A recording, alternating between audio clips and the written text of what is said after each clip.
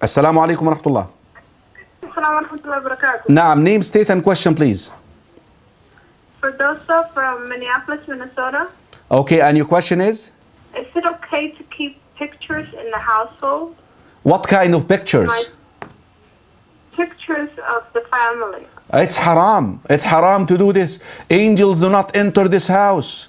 Meaning no mercy in the house. Meaning shaitan will dwell in this house. Please, brothers, please, sisters, do not do this. Wallahi, I love you for the sake of Allah. I know you love your parents, I know you love your friends, but don't do this. You want peace into your houses, don't you? You want your homes to be peaceful. And if angels cannot enter these houses, that means devils are there. That's why we get angry at one another all the time. That's why brothers are fighting, husband wives are fighting, sisters are fighting. Come on, brothers, we do not need this. We're Muslims. It is haram, sister.